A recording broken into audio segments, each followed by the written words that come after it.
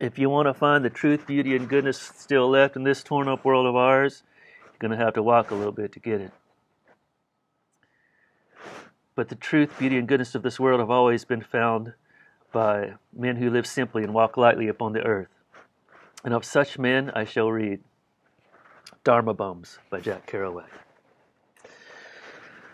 Hopping a freight out of Los Angeles at high noon one day in late September 1955, I got on a gondola and lay down with my duffel bag under my head and my knees crossed and contemplated the clouds as we rode north to Santa Barbara. It was a local, and I intended to sleep on the beach at Santa Barbara that night and catch either another local to San Luis Obispo the next morning or the first class freight all the way to San Francisco at 7 p.m. Somewhere near Camarillo, where Charlie Parker had been mad and relaxed back to normal health, a thin old little bum climbed into my gondola as we headed into a siding to give a train right away and looked surprised to see me there. He established himself at the other end of the gondola and lay down, facing me, with his head on his own miserable small pack, and said nothing. By and by, they blew the highball whistle after the eastbound freight had smashed through on the main line, and we pulled out as the air got colder and fog began to blow from the sea over the warm valley of the coast. Both the little bum and I, after unsuccessful attempts to huddle on the cold steel and wraparounds, got up and paced back and forth and jumped and flapped arms at each other, each our end of the gon. Pretty soon we headed into another siding at a small railroad town, and I figured I needed a poor boy of Tokay wine to complete the cold dusk run to Santa Barbara. Will you watch my pack while I run over there and get a bottle of wine? Sure thing. I jumped over the side and ran across Highway 101 to the store and bought, besides wine, a little bread and candy. I ran back to my freight train, which was which had another 15 minutes to wait in the now warm, sunny scene. But it was late afternoon and bound to get cold soon. The little bum was sitting cross-legged at his end before a pitiful repast of one can of sardines. I took pity on him and went over and said, "How about a little wine to warm you up? Maybe you'd like some bread and cheese with your sardines?" "Sure thing!" He spoke from far away, inside a little meek voice box, afraid or unwilling to assert itself. I'd bought the cheese three days ago in Mexico City before the long, cheap bus trip to across Zacatecas and Durango and Chihuahua, 2,000 long miles to the border at El Paso. He ate the cheese and bread and drank the wine with gusto and gratitude. I was pleased. I reminded myself of the line in the Diamond Sutra that says, Practice charity without holding in mind any conceptions about charity, for charity, after all, is just a word. I was very devout in those days and was practicing my religious devo- uh, devotions uh, almost to perfection. Since, since then, I've become a little hypocritical about my lip service and a little tired and cynical. Because now I am old. I am grown so old and neutral. But then, then I really believed in the reality of charity and kindness and humility and zeal and neutral tranquility and wisdom and ecstasy and I believed that I was an old time bhikkhu in modern clothes, wandering the world, usually the immense triangular arc of New York to Mexico City to San Francisco, in order to turn a wheel of the true meaning, or Dharma, and gain merit for myself as a future Buddha or awakener, and as a future hero in paradise. I had not I had not met Japhy Ryder yet. I was about to the next week, had not heard anything about Dharma bums, although at this time I was a perfect Dharma bum myself and considered myself a religious wanderer. The little bum of the gondola solidified all my beliefs by warming up to the wine and talking and finally whipping out a tiny slip of paper which contained a prayer by St. Teresa, announcing that after her death she will return to the earth by showering it with roses from heaven forever for all living creatures. Amen. Where did you get this? I asked. Oh, I cut it out of a reading room magazine in Los Angeles a couple years ago. I always carry it with me. And you squat in boxcars and read it? Most every day. He talked not much more than this, didn't amplify on the subject of St. Teresa, and was very modest about his religion, and told me little about his personal life. He's a kind of thin, quiet little bum nobody pays much attention to, even in Skid Row, let alone Main Street. If a cop hustled him off, he hustled and disappeared, and if yard dicks were around in big city yards when a freight was pulling out, chances are they never got a sight of the little man hiding in the weeds and hopping on in the shadows. When I told him I was planning to hop the zipper first class freight train the next night, he said, Ah, you mean the Midnight Ghost? Is that what you call the zipper? You must have been a railroad man on that railroad. I was. I was a brakeman on the SP. Well, we bums call it the Midnight Ghost 'cause you get on in L.A. and nobody sees you till you get to San Francisco in the morning. The thing flies so fast. 80 miles an hour on the straightway, Paps. That's right, but it gets mighty cold at night when you're flying up that coast north of Gaviota and up around Surf. Surf, that's right. Then the mountains down south of Margarita. Margarita, that's right. But I've read that Midnight Ghost more times than I can count, I guess. How many years been since you've been home? More years I care to count, I guess. Ohio was where I was from. But the train got started, the wind grew cold and foggy again, and we spent the following hour and a half doing everything in our power and willpower not to freeze and chatter teeth too much. I'd huddle and meditate on the warmth, the actual warmth of God, to obviate the cold, and then I'd jump up and flap my arms and legs and sing, but the little bum had more patience than I had and just lay there most of the time, chewing his cud in forlorn, bitter lipped thought. My teeth were chattering, my lips blue. By dark, we saw with relief the familiar mountains of Santa Barbara taking shape, and soon we'd be stopped and warm in the warm starlight night by the tracks.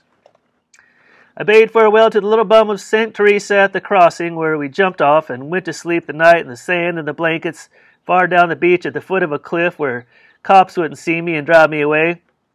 I cooked hot dogs on freshly cut and sharpened sticks over the coals of a big wood fire and heated a can of beans and a can of cheese macaroni in the red hot hollows and drank my newly bought wine and exulted in one of the most pleasant nights of my life. I waded in the water and dunked a little and stood looking up at the splendorous night sky. Avalokitesvara's ten wondered universe of dark and diamonds. Well, Ray, says I, glad only a few miles to go. You've done it again. Happy. Just in my swim shorts, barefooted, wild haired in the red fire, dark, singing, swigging wine, spitting, jumping, running. That's the way to live.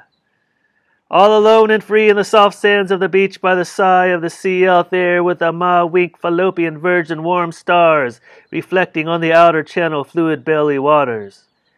And if your cans are red hot and you can't hold them in your hands, just use good old railroad gloves, that's all. I let the food I let the food cool a little to enjoy more wine and my thoughts. Sat cross legged in the sand and contemplated my life.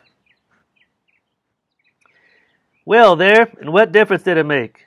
What's going to happen to me up ahead? Then the wine got to work on my taste buds, and before long I had a pitch into those hot dogs, biting them right off the end of the stick, spit, and chomp chomp, and dig down into the two tasty cans with the old pack spoon, spooning up rich bites of hot beans and pork, or macaroni with sizzling hot sauce, and maybe a little sand thrown in. And how many grains of sand are there on this beach, I think? Why, as many grains of sand as there are stars in the sky, chomp chomp. And if so, how many human beings have been that have there been? In fact, how many living creatures have there been since before the less part of beginningless time? Why, oi, I reckon you would have to calculate the number of grains of sand on this beach and on every star in the sky in every one of the 10,000 great chiliocosms, which would be a number of sand, gra- sand grains uncomputable by IBM and Burroughs, too. Why, boy, I don't rightly know, swig of wine.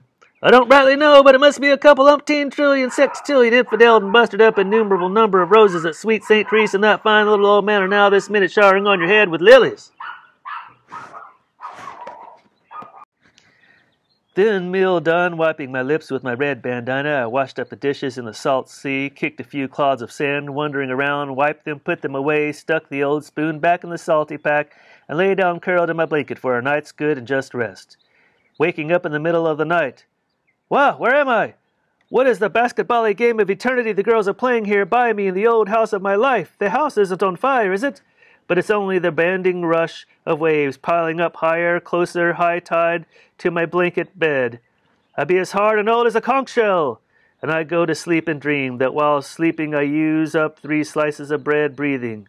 Ah, poor mind of man, and lonely man alone on the beach, and God watching with intent smile, I'd say and I dreamed of home long ago in New England, my little Kit Kats trying to go a thousand miles following me on the road across America, and my mother with a pack on her back, and my father running after the ephemeral, uncatchable train. And I dreamed and woke up to a gray dawn, saw it, sniffed, because I had seen all the horizon shift as if a scene shifter had hurried to put it back in place and make me believe in its reality, and went back to sleep, turning over. It's all the same thing, I heard my voice say in the void that's highly embraceable during sleep. Chapter 2 The little St. Teresa bum was the first genuine Dharma bum I'd met, and the second was the number one Dharma bum of them all. In fact, it was he, Japhy Ryder, who coined the phrase. Japhy Ryder was a kid from eastern Oregon, brought up in a log cabin deep in the woods with his father and mother and sister from the beginning of a woods boy, an axeman, farmer, interested in animals and Indian lore, so that when he finally got to college by hook or crook, he was already well equipped for his early studies in anthropology and later in Indian myth and in the actual texts of Indian mythology. Finally, he learned Chinese and Japanese and became an Oriental scholar and discovered the greatest Dharma bums of them all, the Zen lunatics of China and Japan. At the same time, being a Northwest boy with idealistic tendencies, he got interested in old fashioned IWW anarchism and learned to play the guitar and sing old worker songs to go with his Indian, Indian songs and general folk song interests. I first saw him walking down the street in San Francisco the following week after hitchhiking the rest of the way from Santa Barbara in one long zipping ride given me, as though anybody had believed this, by a beautiful, darling young blonde in a snow white strapless bathing suit and barefooted with a gold bracelet on her ankle, driving next year's cinnamon red Lincoln Mercury. He wanted Benzedrine so she could drive all the way to the city, and when I saw I had some in my duffel bag, yelled crazy. I saw Japhy loping along in that curious long stride of the mountain climber, with a small knapsack on his back filled with books and toothbrushes and whatnot, which was his small going to the city knapsack as part as apart from his big full rucksack complete with sleeping bag, poncho, and cook pots, he wore a little goatee, strangely oriental looking, with his somewhat slanted green eyes, but he didn't look like a bohemian at all, and was far from being a bohemian, a hanger-oner around the arts. He was wiry, suntanned, vigorous, open, all howdies and glad talk, and even yelling hello to bums on the street, and then asked a question, answered right off the bat from the top or bottom of his mind, I don't know which, and always in a sprightly, sparkling way. Where did you meet Ray Smith? They asked him when he walked into the place, the favorite bar of the Hepcats around the beach. The place. Oh, I always meet my bodhisattvas in the street, he yelled, and ordered beers. It was a great night a historic night in more ways than one. He and some other poets, he also wrote poetry and translated Chinese and Japanese poetry into English, were scheduled to give a poetry reading at the Gallery 6 in town. They were all meeting in the bar and getting high, but as they stood and sat around, I saw that he was the only one who didn't look like a poet, though poet he was indeed. The other poets were either horn-rimmed and intellectual hepcats with wild black hair like Alva Goldbook, or delicate, pale, handsome poets like Ike O'Shay, in a suit or out of this world genteel looking Renaissance Italian like Francis de Pavia, who looks like a young priest. Or bow tied, wild haired old anarchist fuds like Reinhold Cacoethes, or big fat bespectacled quiet boo boos like Warren Coughlin, and all the other hopeful poets were standing around in various costumes worn at the sleeves, corduroy jackets, gruffly shoes, books sticking out of their pockets. But Japhy was in rough workman's clothes he had bought second hand in Goodwill stores to serve him on mountain climbs and hikes, and for sitting in the open at night, for campfires, for hitchhiking up and down the coast. In fact, in his little knapsack, he also had a funny, uh, a funny green alpine cap that he wore when he got to the foot of a mountain, usually with a yodel before starting to tromp up a few thousand feet.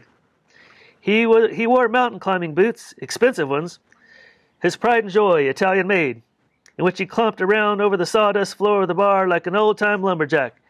Japhy wasn't big, just about five foot seven, but strong and wiry and fast and muscular.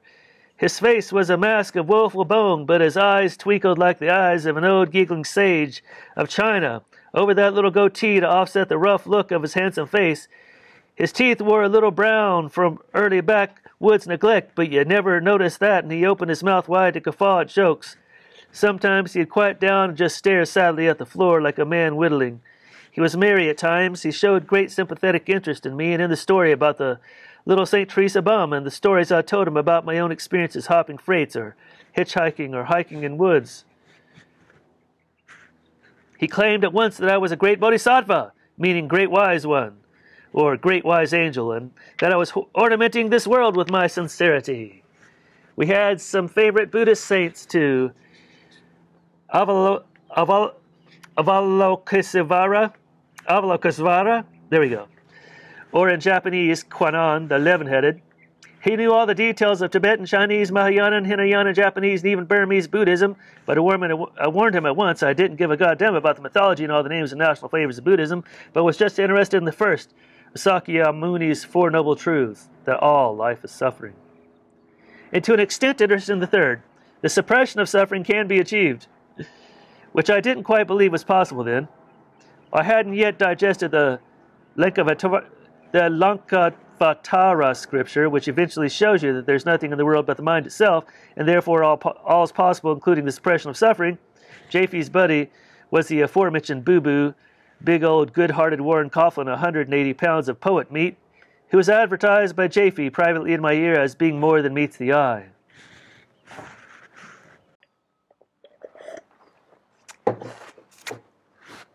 Coffee. Who is he? He's my big friend from up in Oregon. We've known each other a long time. At first you think he's slow and stupid, but actually he's a shining diamond. You'll see. Don't let him cut you to ribbons. He'll make the top of your head fly off, boy, with a choice chance of words. Why? He's a great mysterious bodhisattva. I think maybe a reincarnation of Asanga, the great Mahayana scholar of the old centuries. And who am I? I don't know. Maybe you're a goat. A goat? Maybe you're Mudface. Who's Mudface? Mudface is the mud in your goat face. What would you say as someone who asked the question, Does a dog have the Buddha nature? and said, Woo? Well, I'd say that was a lot of silly Zen super. I'd say that was a lot of silly Zen Buddhism. This took Japhy back a bit. Listen, Japhy, I said, I'm not a Zen Buddhist. I'm a serious Buddhist. I'm an old fashioned, dreamy Hinayana coward of late Mahayanism and so forth, into the night. My contention being that Zen Buddhism didn't concentrate on kindness so much as on confusing the intellect to make it perceive the illusion of all sources of things. It's mean, I complained. All those Zen masters throwing young kids in the mud because they can't answer their silly word questions. That's because they want the that's because they want them to realize mud is better than words, boy.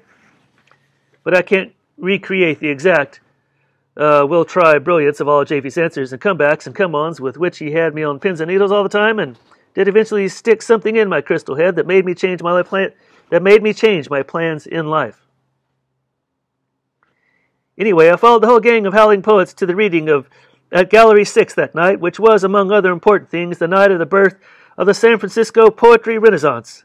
Everyone was there. It was a mad night, and I was the one who got things jumping by going around collecting dimes and quarters from the rather stiff audience standing around in the gallery and coming back with three huge gallon jugs of California Burgundy and getting them all piffed so that by 11 o'clock when Alva Goldbook was reading his, wailing his poem, Whale, drunk with arms outspread, everybody was yelling, Go, go, go, like a jam session, and old Reinhold Cacoethes, the father of the Frisco poetry scene, was wiping his tears in gladness. Japhy himself read his fine poems about Coyote, the god of the North American Plateau Indians, I think, at least the god of the Northwest Indians, Kwakiutl, and and what all.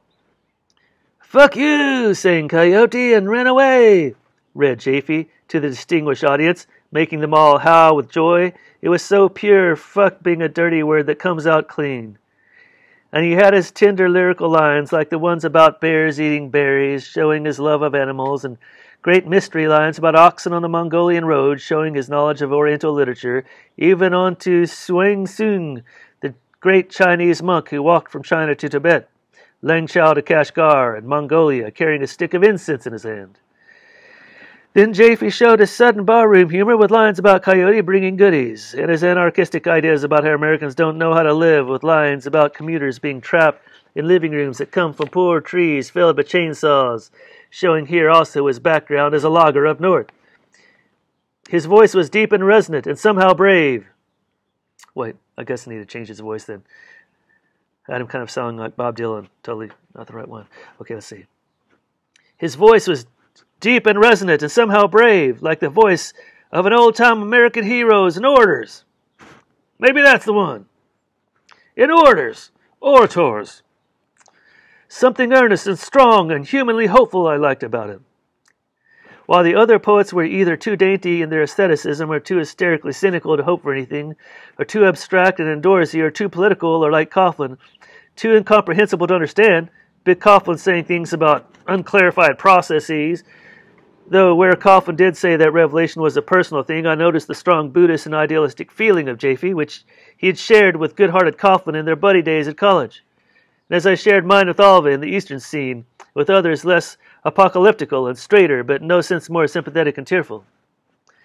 Meanwhile, scores of people stood around in the darkened galleries, straining to hear every word of the amazing poetry reading as I was wandering from group to group, facing them and facing away from the stage, and urging them to glug a slug from the jug, or wandered back and sat on the right side of the stage, giving out little wows and yeses of approval, and even whole sentences of comment, with nobody's invitation. but in the general gaiety, nobody's disapproval either. It was a great night.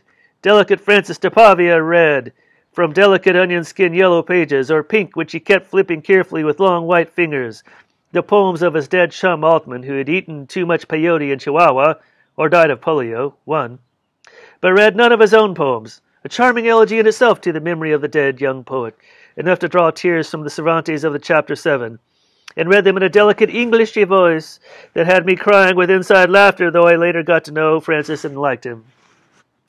Among the people standing in the audience was Rosie Buchanan, a girl with a short haircut, red haired, bony, handsome, a real gone chick and friend of everybody of any consequence on the beach, who'd been a painter's model and a writer herself, and was bubbling over with excitement at that time because she was in love with my old buddy Cody.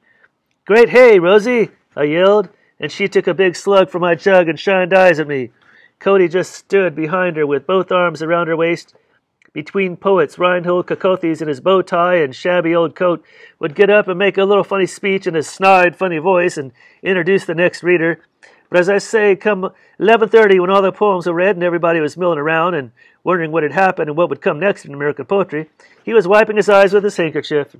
We all got together with him and the poets and drove in several cars to Chinatown for a big fabulous dinner off the Chinese menu with chopsticks, yelling conversation in the middle of the night in one of those free swinging great Chinese restaurants of San Francisco. This happened to be Japhy's favorite Chinese restaurant, Nam Yuen, and he showed me how to order and how to eat with chopsticks and told anecdotes about Zen lunatics of the Orient and had me going so glad. And we had a bottle of wine on the table that finally I went over to an old cook in the doorway of the kitchen and asked him, Why did Bodhidharma come from the West? Bodhidharma was the Indian who brought Buddhism eastward to China. I don't care, said the old cook with lidded eyes, and I told Japhy, and he said, Perfect answer, absolutely perfect. Now you know what I mean by Zen.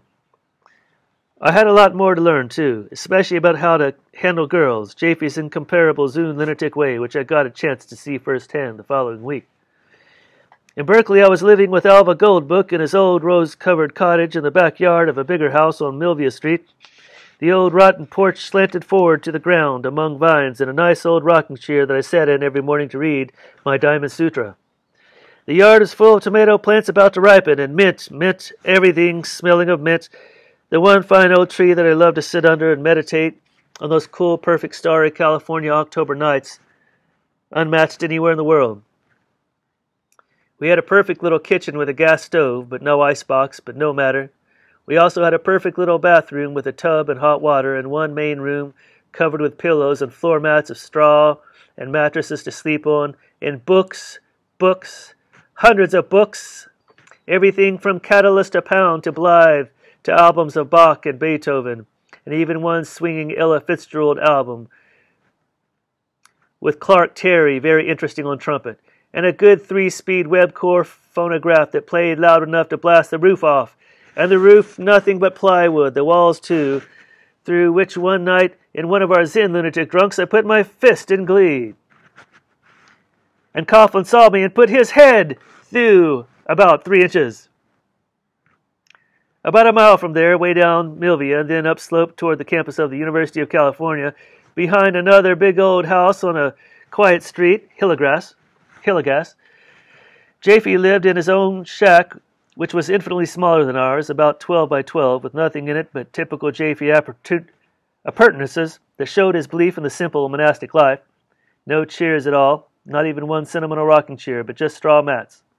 In the corner was his famous rucksack with cleaned up pots and pans, all fitting into one another in a compact unit and all tied and put away inside a knotted up blue bandana. But his Japanese wooden Pata shoes, which he never used, and a pair of black inside Pata socks to pat around softly in over his pretty straw mats, just room for your four toes on one side, your big toe on the other. He had a slew of orange crates, all filled with beautiful scholarly books, some of them in Oriental languages, all the great sutras, comments on sutras, the complete works of D.T. Suzuki, and a fine quadruple volume edition of Japanese haikus. He also had an immense collection of valuable general poetry. In fact, if a thief should have broken in there, the only things of real value were the books. Japhy's clothes were all hand me downs, bought second hand with bemused and happy expression in Goodwill and Salvation Army stores. Wool socks, darned, colored undershirts, jeans, work shirts, moccasin shoes, and a few turtleneck sweaters that he wore, one on top the other, in the cold mountain nights of the high Sierras in California, and the high Cascades of Washington and Oregon, on the long, incredible jaunts that sometimes lasted weeks and weeks with just a few pounds of dried food in his pack. A few orange crates made his table, on which one late sunny afternoon as I arrived was steaming a peaceful cup of tea at his side, as he bent a serious head to the Chinese signs of the poet Han Shan. Coughlin had given me the address, and I came there, seeing first Japhy's bicycle on the lawn in front of the big house out front, where his landlady lived, then a few odd boulders and rocks, and funny little trees he had brought back from Mountain Jaunts to set out his own Japanese tea garden, or tea house garden as there was a convenient pine tree soughing over his little domicile.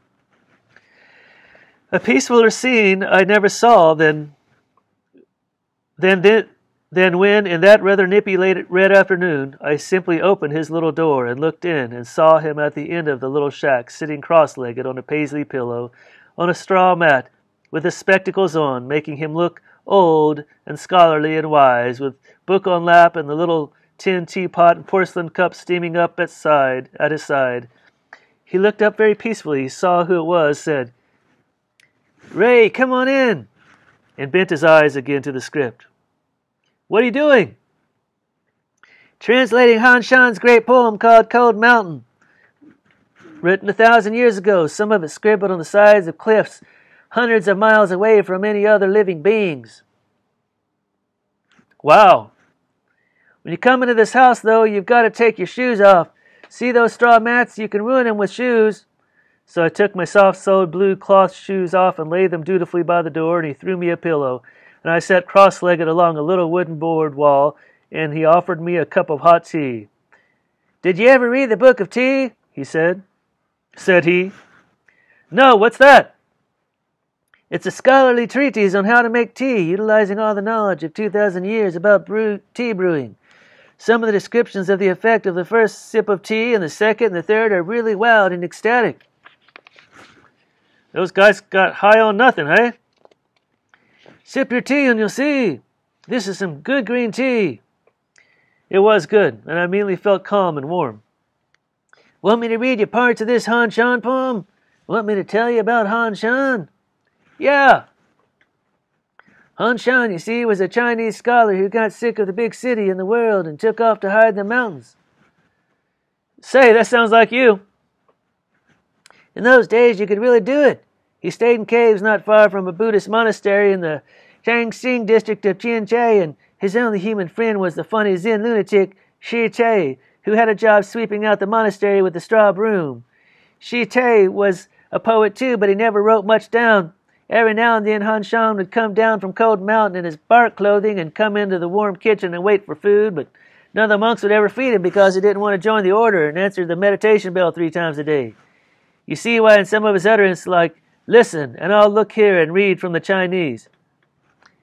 And I bent over his shoulder and watched him read from big wild crow tracks of Chinese signs. Climbing up cold mountain path, cold mountain path goes on and on. Long gorge choked with scree and boulders, wide creek and mist blurred grass. Moss is slippery through, though there's been no rain. Pine sings, but there's no wind. Who can leap the world's ties and sit with me ar- among white clouds? Wow. Of course, that's my own translation into English. You see, there are five signs from each line, and I have to put in Western prepositions and articles and such. Why don't you just translate it as it is? Five signs, five words. What's those first five signs? Sign for climbing, sign for up, sign for cold, sign for mountain, sign for path. Well, then translate it climbing up cold mountain path. Yeah, but what do you do with the sign for long, sign for gorge, sign for choke, sign for avalanche, sign for boulders? Where's that? That's the third line. Would and would to and would have to read long gorge, choke, avalanche, boulders. Well, that's even better. Well, yeah, I thought of that, but uh, I have to have this past approval of Chinese scholars here at the university and have it clear in English. Boy, what a great thing this is, I said, looking around at the little shack. And you sitting here so very quietly at this very quiet hour, studying all alone with your glasses. Ray, what, Ray, what you got to do is go climb a mountain with me soon. How would you like to climb Matterhorn? Great, where's that? It's up in the Sierras. We can go there with Henry Morley up his, in his car and bring our packs and take off from the lake. I could carry all the food and stuff we need in the rucksack, and you could borrow Alva's small knapsack and carry extra socks and shoes and stuff. What's these signs mean? These signs mean that Han Shan came down from his mountain after many years roaming around up there to see his folks in town and says, Till recently I stayed at Cold Mountain, etc. Yesterday I called on friends and family. More than half had gone to the Yellow Springs. That means death, the Yellow Springs. Now morning I face my lone shadow. I can't study with both eyes full of tears. Well, that's like you too, Japhy, studying with eyes full of tears. My eyes aren't full of tears. Aren't they going to be after a long, long time? Well, they certainly will. They certainly will, Ray. And look here. In the mountain it's cold. It's always been cold, not just this year. See, he's real high, maybe 12,000 or 13,000 feet or more, way up there, and says, Jagged scarps always snowed in, woods in the dark ravines spitting mist. Grass is still sprouting at the end of June. Leaves begin to fall in early August. And here am I, high as a junkie. As a junkie? That's my trans that's my translation. He actually says here, am I as high as the sensualist in the city below, but I made it modern and high translation. Great. I wondered why Han Shan was Japhie's hero. Because, said he, he was a poet, a mountain man, a Buddhist dedicated to the principle of meditation on the essence of all things. A vegetarian, too, by the way, though I haven't got a, got on that kick from figuring maybe in the modern world to be a vegetarian is to split hairs little since all sentient beings eat what they can. He was a man of solitude who would take off by himself and live purely and true to himself. Well, that sounds like you, too. And like you, too, Ray. I haven't forgotten what you told me about how you made it in the woods meditating in North Carolina and all. Japhy was very sad, subdued after that. I'd never seen him so quiet, melancholy, thoughtful. His voice was as tender as a mother's. He seemed to be talking from far away to a poor yearning creature, me, who needed to hear his message. He wasn't putting anything on. He he was in a bit of a trance, actually. Uh, so have you been just meditating all day? Yeah, I meditate first thing in the morning before breakfast, and I always meditate a long time in the afternoon, unless I'm interrupted. Who interrupts you? Oh, people. Coughlin sometimes. And Alva came yesterday, and Rol Sturlason got his girl comes over to play Yab Yum. Yab Yum, what's that? Don't you know about Yab Yum, Smith? I'll tell you later. He seemed to be too sad to talk about Yab Yum, which I found out about a couple of nights later. We we talked a while longer about Han Shan and poems on cliffs, and as I was going away, his friend Rol Sturlason, a tall, blond, good-looking kid, came in to discuss his coming trip to Japan with him. This Rol Sturlason was interested in the fam- famous Ryoanji rock garden of Shokokuji Monastery in Kyoto, which is nothing but old boulders placed in such a way, supposedly mystically aesthetic, as to cause thousands of tourists and monks every year to journey there to stare at the boulders in the sand, and thereby gain peace of mind.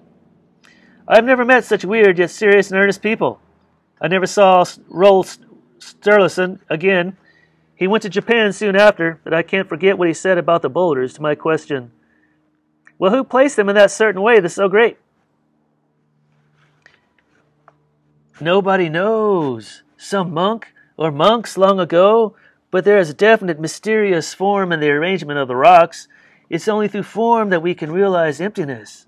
He showed me the picture of the boulders in well raked sand, looking like islands in the sea, looking as though they had eyes, declivities, and surrounded by a neatly screened and architectural monastery patio.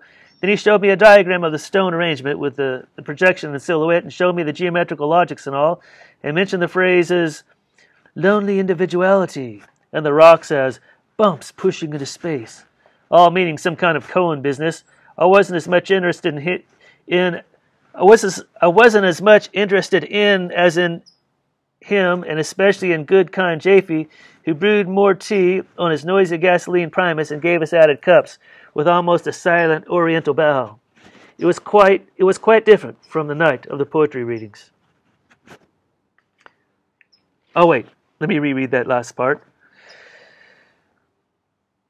Then he showed me a diagram of the stone arrangement with a projection and silhouette and showed me the geometrical logics and all and mentioned the phrases lonely individuality and the rocks as bumps pushing into space, all meaning some kind of Cohen business I was as much, I was as much interested in as in him, and especially in good kind Japhy who brewed more tea on his noisy gasoline primus, etc. Chapter 4 but the next night about midnight, Coughlin and I and Alva got together and decided to buy a big gallon jug of burgundy and go bust in on Japhy in his shack. What's he doing tonight? I asked. Oh, says Japhy. Oh, says Coughlin. Probably studying, probably screwing. We'll go see. We bought the jug on Shattuck Avenue, way down, and went over and once more saw his once more I saw his pitiful English bicycle on the lawn. Japhy travels around on that bicycle with his little knapsack on his back all up and down Berkeley, all day, said Coughlin. He used to do the same thing at Reed College in Oregon. He was a regular fixture up there. Then we'd throw big wine parties and have girls and end up jumping out windows and playing joke college pranks all up and down town. Gee, he's strange, said Alva, biting his lip in a mood of marvel, and Alva himself was making a careful, interesting study of our strange, noisy, quiet friend. We came in the little door again. Japhy looked up from his cross legged study over a book American poetry this time, glasses on, and said nothing but, Ah, in a strangely cultured tone. We took off our shoes and pattered across the little five feet of straw to sit by him, but I was last with my shoes off and had the jug in my hand, which I turned to show him from across the shack, and from his cross legged position, Japhy suddenly roared, Yah! and leaped up into the air and straight across the room to me, landing on his feet in a fencing position with a sudden dagger in his hand, the tip of it just barely stabbing the glass of the bottle with a small, distinct clink. It was the most amazing leap I ever saw in my life, except by nutty acrobats, much like a mountain goat, which he was, it turned out. Also reminded me of a Japanese samurai warrior, the yelling roar, the leap, the position, and his expression of comic wrath, his eyes bulging and making a big funny face at me. I had the feeling was really a complaint against our breaking in on his studies and against wine itself, which would get him drunk and make him miss his planned evening of reading. But without further ado, he uncapped the bottle himself, took a big slug, and we all sat cross legged and spent four hours screaming news at one another. One of the funniest nights. Some of it went like this Japhy. Well, coffee, old fart, what you been doing? Nothing. Alva. What are all these strange books here? Hmm, Pound. You like Pound? Except for the fact that the old fart face flubbed up the name of Li Po, Japhy said, by calling him by his Japanese name and all such famous twaddle. he was all right. In fact, he's my favorite poet. Ray, Pound? He wants to make a favorite poet out of that pretentious nut. Japhy, have some more wine, Smith. You're not making any sense. Who's your favorite poet, Alva? Ray. Why don't just why don't somebody ask me my favorite poet? I know more about poetry than all you put together. Is that true? It might be. Haven't you seen Ray's new books of poems? said Alva. He just wrote Mexico. The wheel of the quivering meat conception turns in the void, expelling ticks, porcupines, elephants, people, stardust, fools, nonsense. No, that's not it. Speaking of meat, said Japhy, have you read the new poem of etc., etc., and then finally disintegrating into a wild talk fest and yell fest, finally song fest with people rolling on the floor in laughter, and ending with Alva and Coughlin and I going staggering up the quiet college street, arm in arm, singing Ellie, Ellie at the top of our voices and dropping the empty jug right at our feet in the crash of glass as Japhy laughed from his little door. But we had made him miss his evening of study, and I felt bad about that, till the following night when he suddenly appeared at our little college with a pretty girl and came in and told her to take her clothes off, which she did at once. Chapter 5 This was in keeping with Japhy's theories about women and love making. I forgot to mention that the day the rock artist had called on him in the late afternoon, a girl had come right after, a blonde in rubber boots and a Tibetan coat with wooden buttons, and in the general talk she'd inquired about our plan to climb Mount Matterhorn, and said, Can I come with you? As she was a bit of a mountain climber herself. Sure, said Japhy in his funny voice he used for joking, a, a big, loud, deep imitation of a lumberjack he knew in the north. Oh, yeah, this is his joking voice. Sure, sure, sure, said Japhy in his funny voice he used for joking, a big, loud, deep imitation of a lumberjack he knew in the Northwest. A ranger, actually, old Bernie Byers. Sure, come on with us, and we'll all screw you at 10,000 feet. And the way he said it was so funny and casual, in fact serious, that the girl wasn't shocked at all, but somewhat pleased. In the same spirit, he had now brought this girl princess to our, to our cottage.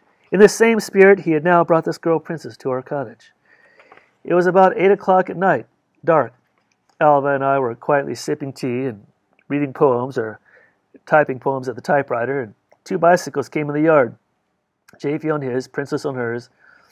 Princess had gray eyes and yellow hair and was very beautiful and only 20. I must say one thing about her. She was sex mad and man mad. So there wasn't much of a problem in persuading her to play Yab Yum. Don't you know about Yab Yum, Smith? said Japhy in his. Wait, don't you know about don't you know about Yab Yum Smith?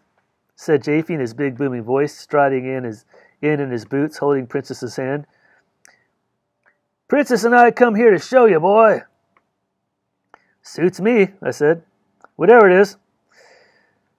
Also, I'd known Princess before and had been mad about her in the city about a year ago. It was just another wild coincidence that she had happened to meet Japhy and fallen in love with him, and madly too. She'd do anything he said. Whenever people dropped in to visit us at the cottage, I'd always put my red bandana over the little wall lamp and put out that ceiling light to make a nice, cool, red, dim scene to sit and drink wine and talk in. I did this and went to get the bottle out of the kitchen and couldn't believe my eyes when I saw Japhy and Alva taking their clothes off and throwing them every which way. And I looked, and Princess was stark naked, her skin white as snow when the red sun hits it at dusk in the dim red light. What the hell? I said. Here's what Yab Yum is, Smith, said Japhy, and he sat cross-legged on the floor on the on the pillow, and he sat cross-legged on the pillow on the floor and motioned to Princess, who came over and sat down on him, facing him with her arms about his neck, and they sat like that, saying nothing for a while. Japhy wasn't at all nervous and embarrassed, just sat there in perfect form, just as he was supposed to do. This is what they do in the temples of Tibet. It's a holy ceremony. It's done just like this in front of chanting priests. People pray and recite Om Mani Padme Hum, which means, Amen the thunderbolt in the dark void. See, I'm the thunderbolt and Princess is the dark void, you see? But what's she thinking? I yelled, almost in despair. What's she thinking? I'd had such idealistic longings for that girl in that past year and had conscience stricken hours wondering if I should seduce her because she was so young and all. Oh, this is lovely, said Princess. Come on and try it. But I can't sit cross legged like that. Japhy was sitting in the full lotus position, it's called, both ankles over both thighs. Alva was sitting on the mattress trying to yank his ankles over his thighs to do it. Finally, Japhy's legs began to hurt, and they just tumbled over the mattress. Over on the mattress where both Alva and Japhy began to explore the territory. I still couldn't believe it. Take your clothes off. Join us, Smith, but on top of all that, the feelings about Princess. I'd also gone through an entire year's celibacy based on my feeling that Lust was the direct cause of birth, which was the direct cause of suffering and death, and I'd really no lie come to a point where I regarded lust as offensive and cruel. Pretty girls make graves, was my saying, whenever I'd whenever I'd had to turn my head around involuntarily to stare at the incomparable pretties in India and Mexico. And the absence of act, active lust in me had also given me a new peaceful life that I was enjoying a great deal. But this was too much. I was still afraid to take my clothes off. Also, I never liked to do that in front of more than one person, especially with men around. But Japhy didn't give a goddamn hoot and holler about any of this. And pretty soon he was making Princess happy, and then Alva had a turn, with his big serious eyes staring in the dim light, and him reading poems a minute er- just a minute earlier. So I said, uh, "How about me just uh, starting to work on an arm?" Go ahead, great. Which I did, lying down on the floor with all my clothes on and kissing her hand, then her wrist, then up to her body as she laughed and almost cried with delight. Everybody everywhere just a working on her. All the peaceful celibacy of my Buddhism was going down the drain. Smith, I distrust any kind of Buddhism or any kind of philosophy or social system that puts down sex, said Japhy, quite scholarly now that he was done and sitting naked, cross legged, rolling himself a Bull Durham cigarette, which he did as part of his simplicity life. I ended up with everybody naked. It, it ended up with everybody naked, and finally making gay pots of coffee in the kitchen, and Princess on the kitchen floor, naked, her knees clasped in her arms, lying on her side just for uh, nothing, just to do it. Then finally, she and I took a warm bath together in the bathtub and could hear Alva and Japhy discussing Zen free love lunacy orgies in the next room. Hey, Princess, we'll do this every Thursday night, okay? yelled Japhy. It'll be a regular function. Yeah, called, yelled Princess from the bathtub. I'm telling you, she was actually glad to do all this and told me, You know, I feel like I'm the mother of all things, and I have to take care of my little children. But you're such a young, pretty thing yourself. But I'm also the mother of earth. I'm a bodhisattva. She was just a little off her nut, but when I heard her say Bodhisattva. I realized that she wanted to be a big Buddhist like Japhy, and being a girl, the only way she could express it was this way, which had its traditional roots in the Yabyum ceremony of Tibetan Buddhism. So everything was fine. Alva was immensely pleased and it was all for the ideal of every Thursday night, and so was I by now. Alva, Princess says she's a bodhisattva. Of course she is. She says she's the mother of all of us. The Bodhisattva women of Tibet and parts of ancient India, said Japhy, were taken and used as holy concubines in temples, sometimes in ritual caves, and would get to lay up a stock of merit, and they meditated too. All of them, men, women, they'd meditate, fast, have balls like this, go back to eating, drinking, talking, hike around, live in viharas in the rainy season and outdoors in the dry. There was no question of what to do about sex, which is always what I always liked about Oriental religion and what I always dug about the Indians in our country. You know, when I was a little kid in Oregon, I didn't feel like that I was an American at all, with all that suburban ideal and sex repression and general dreary newspaper gray censorship of all our real human values. But when I discovered Buddhism and all, I suddenly felt that I had lived in a previous lifetime, innumerable ages ago, and now because of faults and sins in that lifetime, I was being degraded to a more grievous domain of existence, and my karma was to be born in America where nobody has any fun or believes in anything, especially freedom. But that's why that's why I was always sympathetic to freedom movements, like anarchism in the Northwest, the old-time heroes of Everett Massacre and all. It ended with it ended up with long, earnest discussions about all these subjects, and finally Princess got dressed and went home with Japhy on their bicycles, and Alva and I sat facing each other in the dim red light. But you know, Ray, Japhy is really sharp. He's really the wildest, craziest, sharpest cat we've ever met. And what I love about him is he's the big hero of the West Coast. Do you realize I've been out here for two years now and hadn't met anybody worth knowing really, or anybody with any truly illuminated intelligence, and was giving up hope for the West Coast? Besides all the background he has in Oriental scholarship, Pound, taking peyote, seeing visions, his mountain climbing, be cooing. Wow, Japhy Ryder is a great new hero of American culture. Well, he's mad, I agreed. And other things I liked about him his quiet, sad moments when he don't say much.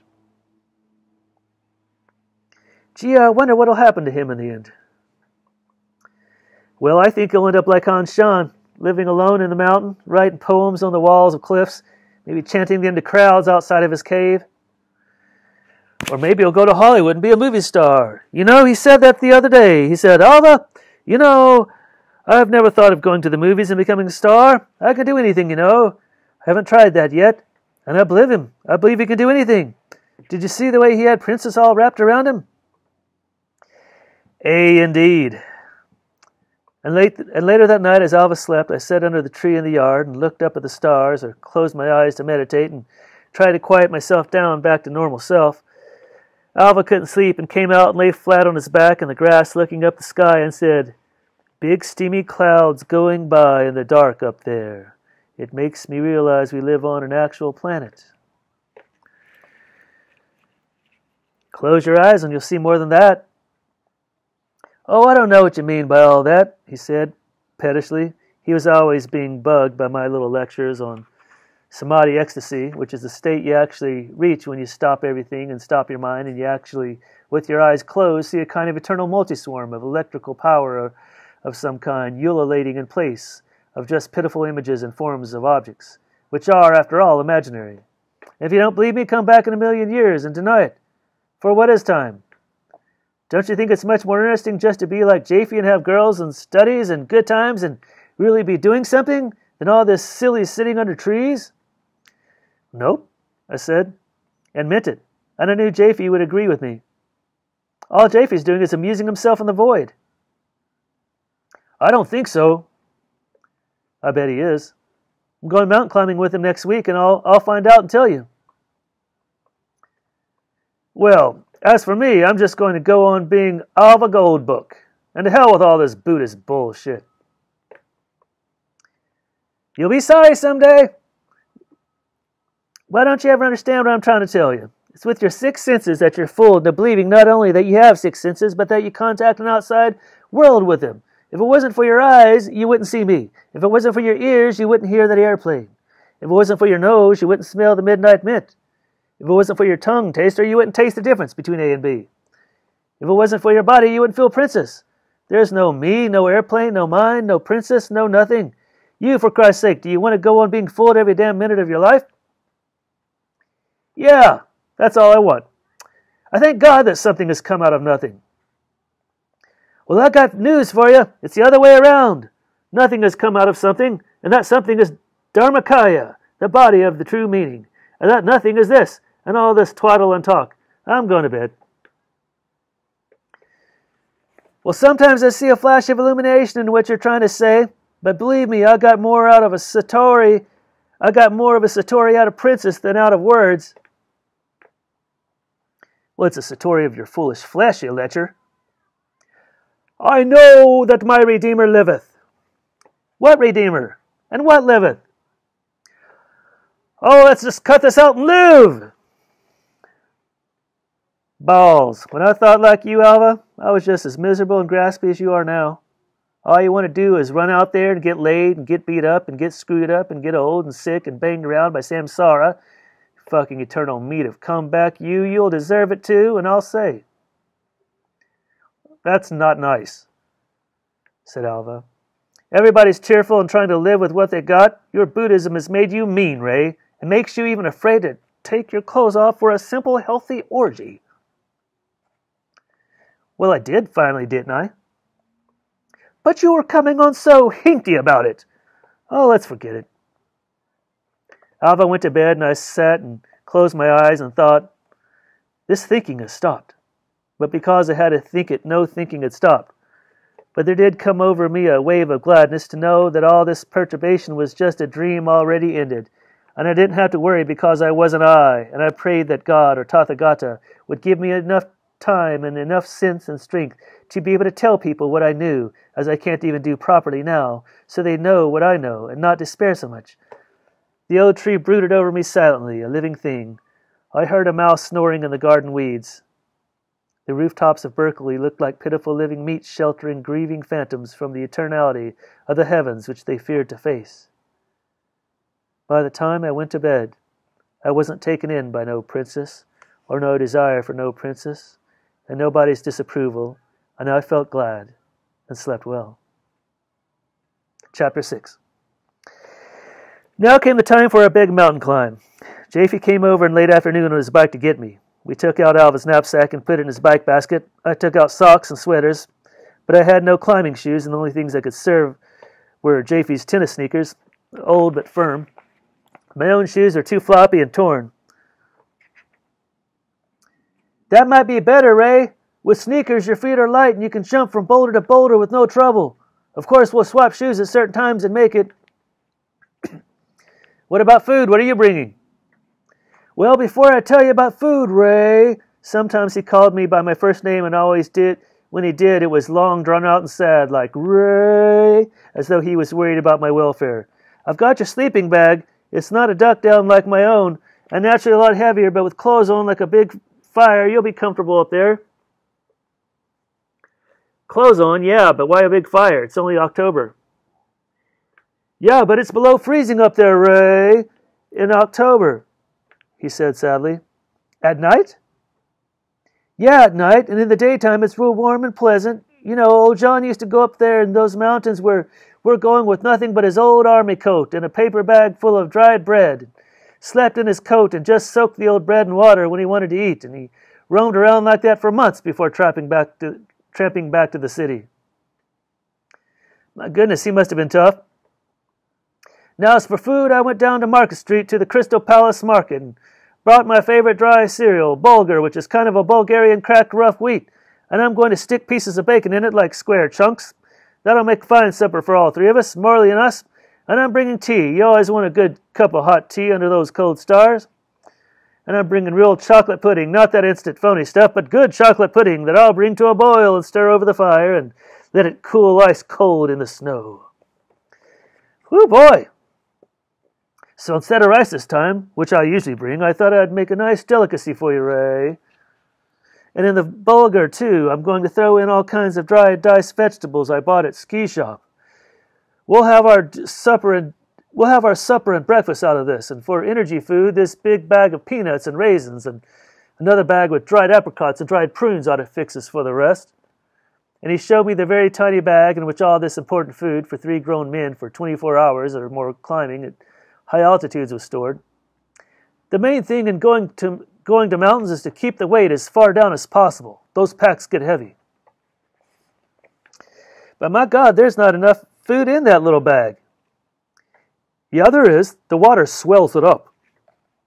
Do we bring wine?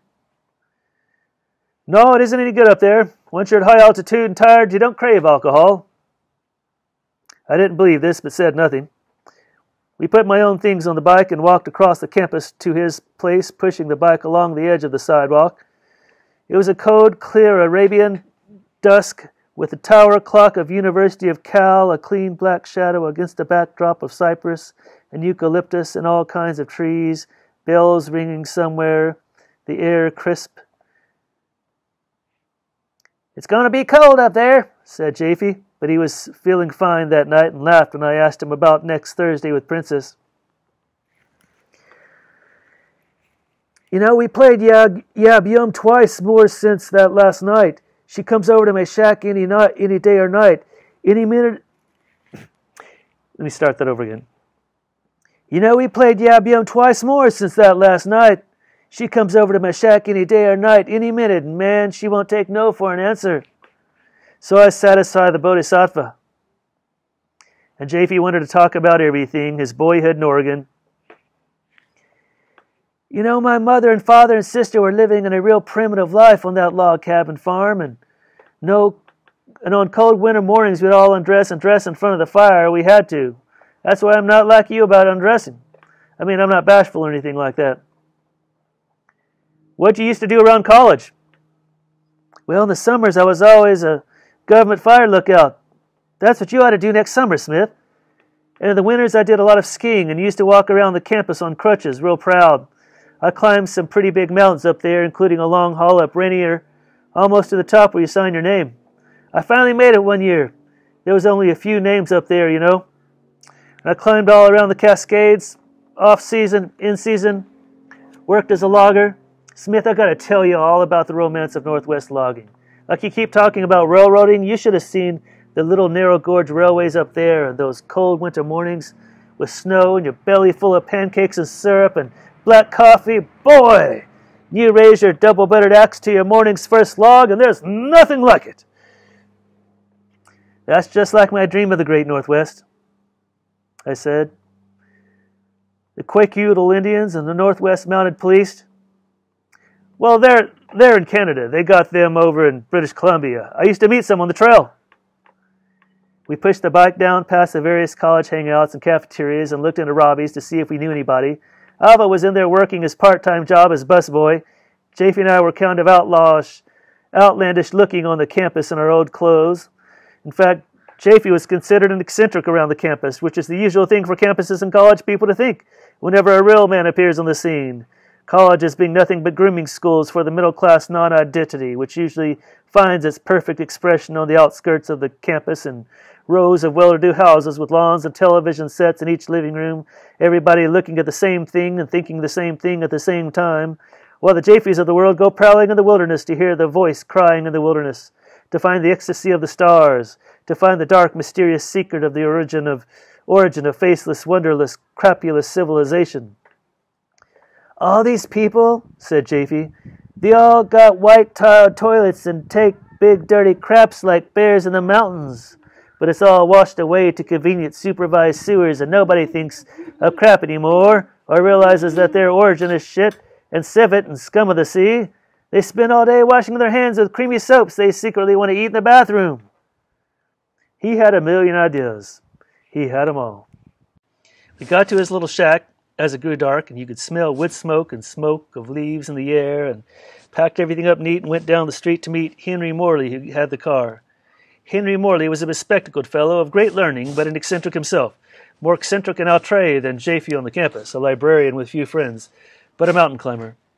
His own little one room cottage in the back lawn of Berkeley was filled with books and pictures of mountain climbing and scattered all over with rucksacks, climbing boots, skis. I was amazed to hear him talk. He talked exactly like Reinhold Cacoethes, the critic. It turned out they had been friends long ago and climbed mountains together, and I couldn't tell whether Morley had influenced Cacoethes or the other way around. I felt it was Morley who had done the influencing. He had the same snide, sarcastic, extremely witty, well formulated speech with thousands of images, like when Japhy and I walked in and there was a gathering of Morley's friends in the in there. A strange outlandish group, including one Chinese and one German from Germany and several other students of some kind, and Morley said, I'm bringing my air mattress. You guys can sleep on that old cold ground if you want, but I'm going to have pneumatic aid. Besides, I went and spent $16 on it in the wilderness of Oakland Army Navy stores and drove all day wondering if, with roller skates or suction cups, you can technically call yourself a vehicle or some such thing incomprehensible to everyone else. Secret meaning joke of his own, to which nobody listened much anyway. He kept talking and talking as though to himself, but I liked him right away. We sighed when we saw the huge amounts of junk he wanted to take on the climb. Even canned goods, and besides his rubber air mattress, a whole lot of pickaxe and whatnot equipment we had really never used. you can carry that axe, Morley, but I don't think we'll need it. Canned goods is just a lot of water you have to lug on your back. Don't you realize we got all the water we wanted waiting for us up there? Well, I just thought a can of this Chinese chop suey would be kind of tasty. I've got enough food for all of us. Let's go.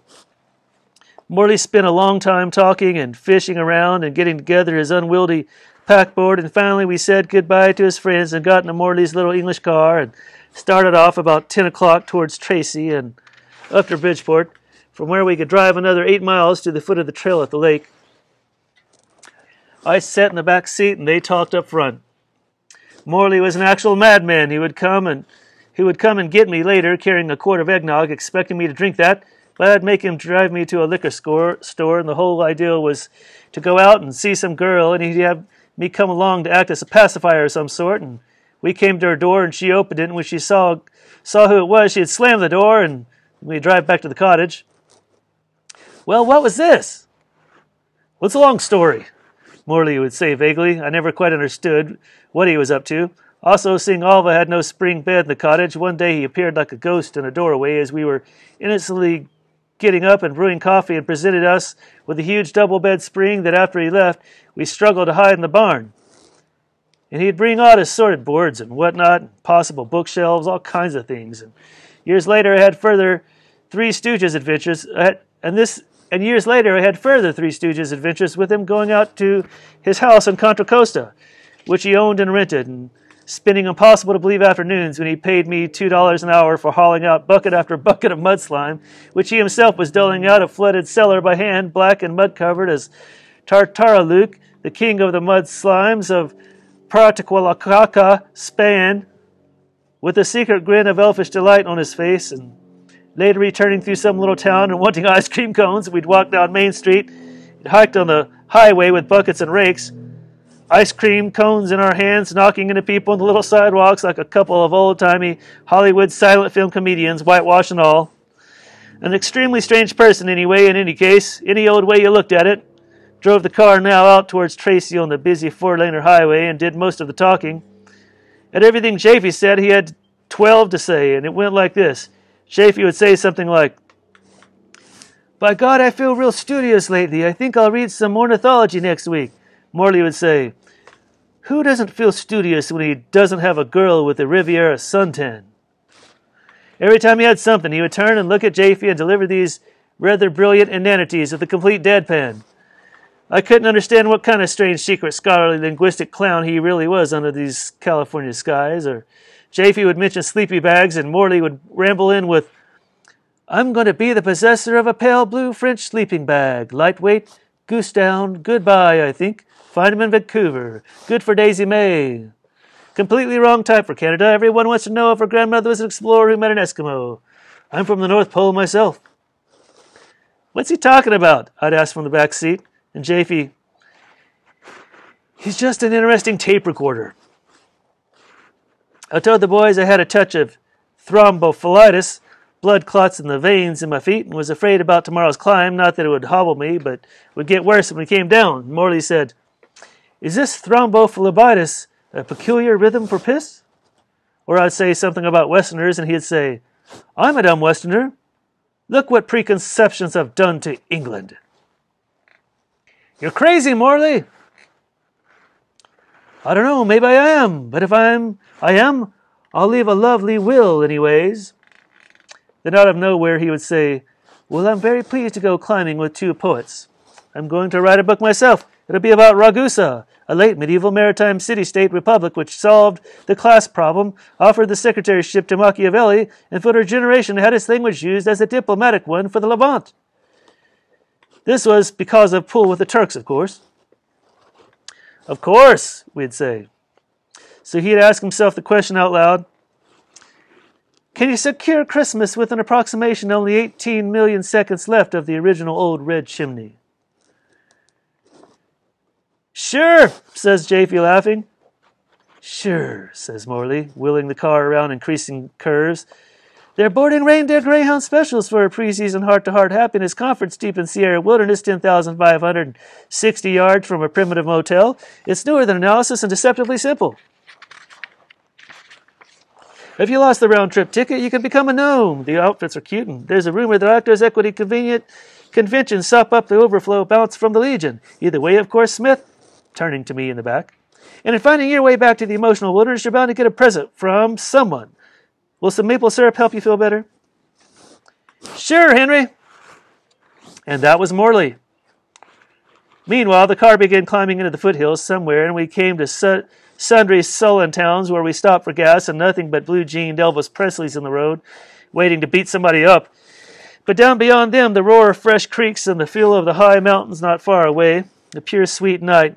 Finally, we got out on a real narrow tar country road and headed up toward the mountains for sure.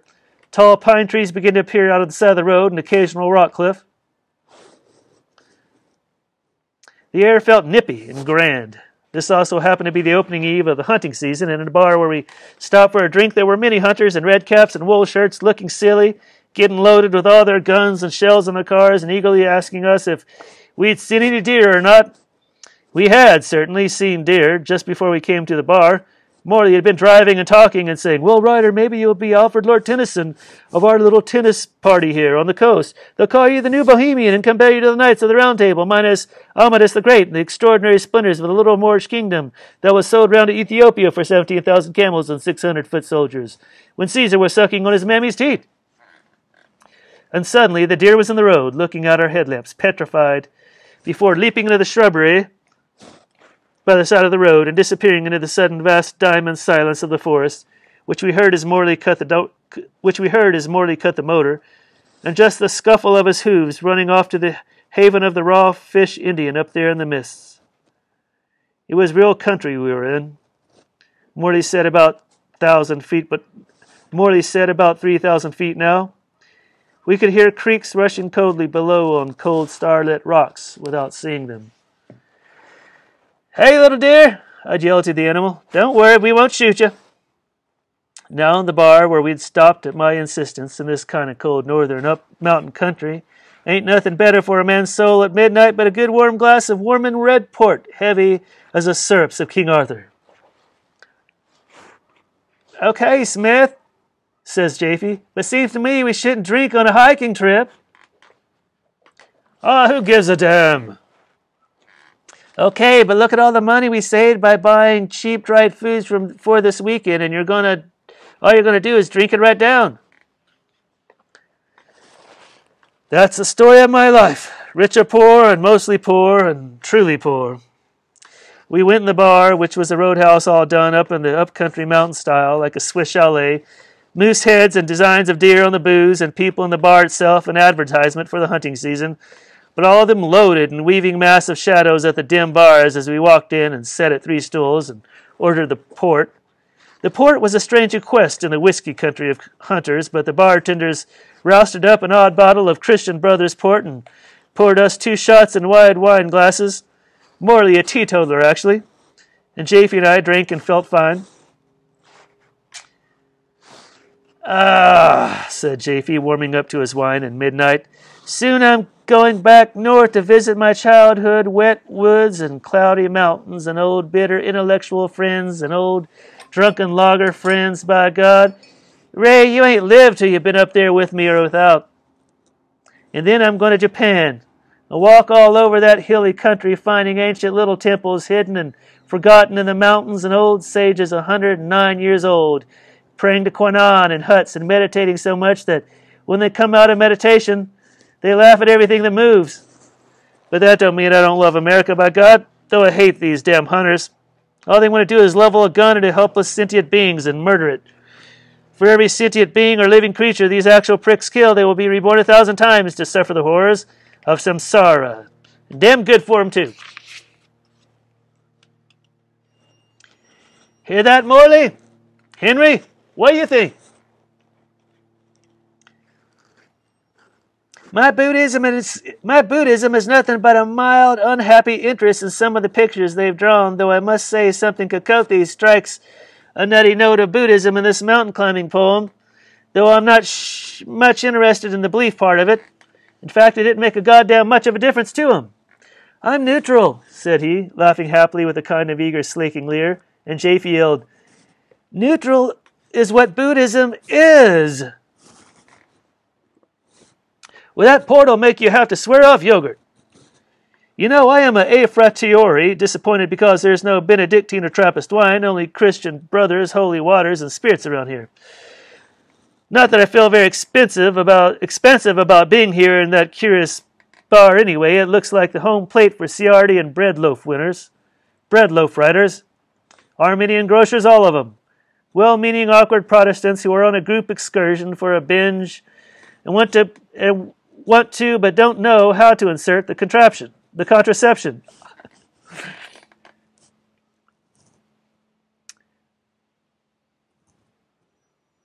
It looks like the home plate for Ciardi and breadloaf writers, Armenian grocers, all of them. Well meaning, awkward Protestants who are on a group excursion for a binge and want to but don't understand how to insert the con- contraception. These people must be assholes, he added in sudden straight revelation. The milk around here must be fine, but more cows than people. This must be a different race of Anglos up here. I don't particularly warm up to their appearance. The fast kids around here must go 34 miles. Well, Japhy, said he, including, concluding, if you ever get an official job, I hope you get a Brooks Brothers suit. Hope you don't wind up in artsy fartsy parties where it would say, as some girls walked in, young hunters must be why the baby wards are open all year. But the hunters didn't like us to be huddled there talking close and friendly in low voices about sundry personal topics, and joined us, and pretty soon it was a long, funny harangue up and down the oval bar about deer in the locality, where to go climb, what to do, and when they heard we were out in this country not to kill animals but just to climb mountains, they took us to be hopeless eccentrics and left us alone.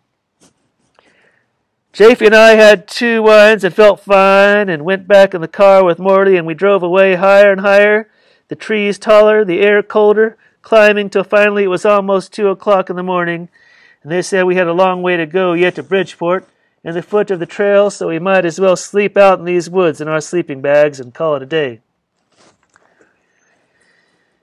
We'll get up at dawn and take off. Meanwhile, we have this good brown bread and cheese, too, said Japhy, producing it. Brown bread and cheese he had thrown in at the last minute in his little shack. And that'll make a fine breakfast, I say. We'll save the bulgur and goodies for our breakfast tomorrow morning at ten at two at ten thousand feet. Fine, still talking and all.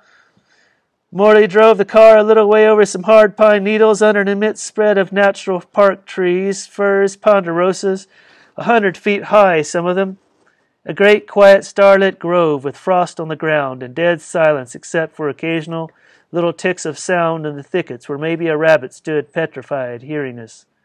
I got up my sleeping bag and spread it out and took off my shoes, and just as I was sighing happily and slipping my stockinged feet into my sleeping bag and looking around gladly at the beautiful tall trees, thinking, Ah, oh, what a night of true sweet sleep this will be. What meditations I can get into in this intense silence of nowhere. Japhy yelled at me from the car. Say, it appears Mr. Morley has forgotten his sleeping bag.